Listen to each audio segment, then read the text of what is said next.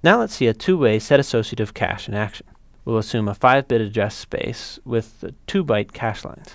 Notice that I've added a valid bit to our cache here, so that we can tell whether data has ever been loaded up to a, a line in the cache. Uninitialized caches are called cold.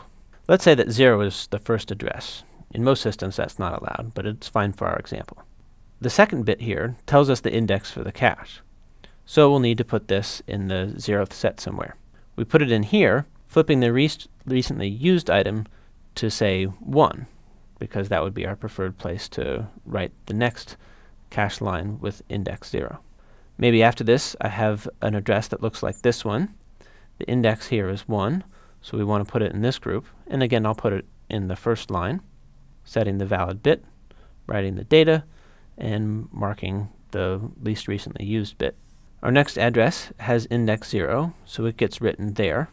Notice that I chose this slot because the LRU had been 1, and I flipped it back to 0 because this is now the least recently used item in this part of the cache. Next we have an address with index 1. We check the tag, and we see that it's a hit. Oh my goodness! Notice that this address is a hit, even though we didn't read the exact same address before. But we did read an address belonging to the same cache block. Next, we have another address with index 0. So he comes in here and evicting one of the previous entries, this one because of the LRU bit.